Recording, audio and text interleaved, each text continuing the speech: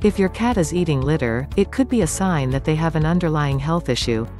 Petful points out that eating litter can be a sign of anemia, a vitamin or mineral deficiency or a neurological disorder, all conditions that require diagnosis by a veterinarian.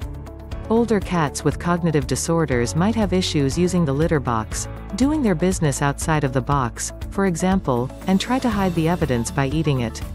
If your cat is eating from the litter box, make sure you're scooping at least once a day, especially if you have multiple cats, and remove any litter that they've kicked outside the box.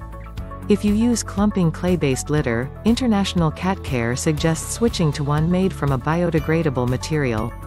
If your cat eats clumping litter, they could experience respiratory and or digestive complications.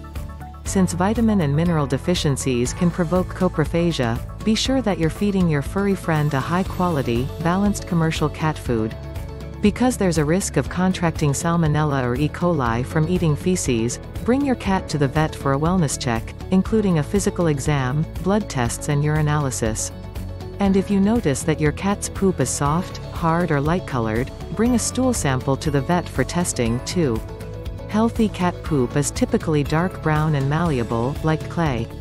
Solving your cat's litter eating habit comes down to getting a proper diagnosis from the vet and addressing the root cause. Thank you for visiting our channel. I hope you found this video informative.